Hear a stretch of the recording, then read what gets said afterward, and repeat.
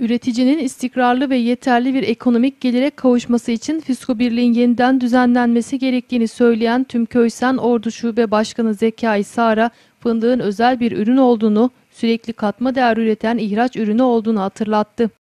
Fındık ürünü ve fındık üreticisi sürekli katma değer sunan, ihracatta önemli bir kalemdir. Gerçek kalkınmanın da e, yolu ihracattan geçtiğine göre yani yüzde doksanın üzerinde bir oranını ihraç ettiğimiz bir ürün. Dolayısıyla bu ürün özel bir ürün olması lazım. Üretenin de ürünün de e, belli bir yerde olması lazım. Yani e, fındık üreticisi de bu kadar önemli bir ürünü ürettiği için ayrıca e, özel bir yerde olması lazım. Fındık ürününün ve fındık üreticisinin kesin çözümü birliğinin ihdas edilmesidir.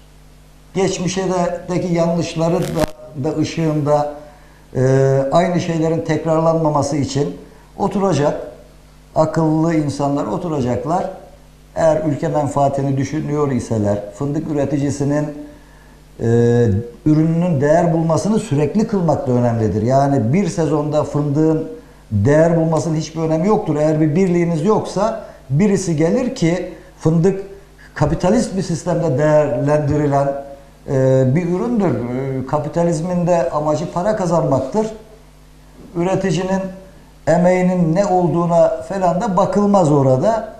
E, durumunu kurtarmak için bir sezon fiyatı iyi kılarlar. Fakat bir dahaki sezon bu fiyatın yarıya inmeyeceğinin hiçbir garantisi yoktur. Tek çözüm fındık üreticisinin çok ivedi olarak hemen bugünden eğer niyetler iyi ise, bu ülkeyi yönetenler iyi niyetli ise fındık üreticisinin bu ürünün ki tamamı ihraç edilen bir ürünün sürekli değer bulması için Fisko Birliği'nin veyahut benzeri bir kuruluşun Avrupa'da örnekler olduğu gibi yeniden burada keşif yapmaya falan da gerek yok. Ee, bu birliği tahsis edecekler. Yok lisanslı depoculukmuş. Efendim e, hiç kimse de gelip bizden fındık alan ülkeler gelip benim fındık bahçeme e, girmeyecekler. Ben ürünümü toplamasını da bilirim, depolamasını da bilirim. Bunlar böyle çok yüksek teknolojiyle falan olan şeyler değil. Bugün Fisko Birlik mevcut depolarıyla bu işi önümüzdeki sezon çok rahat bir şekilde yapar. Yeter ki e, kimin